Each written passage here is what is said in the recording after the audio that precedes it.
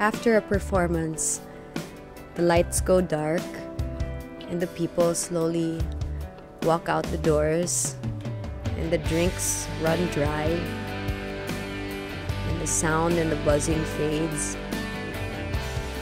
And you know there's still remnants of laughter and commentary about how the gig went.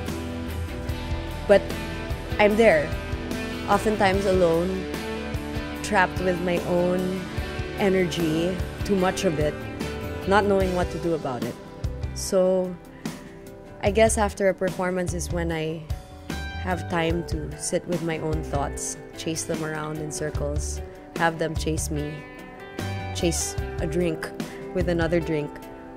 There's a lot of chasing going on.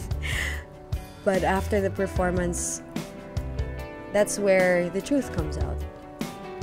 That's where you crawl back into your little hole and be yourself and learn to, you know, live with whatever it is you are or you've become. And after the performance, it's just a waiting game until the next performance.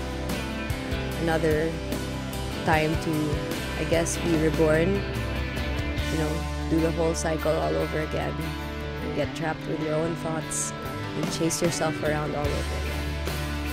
That's what after a performance is for me.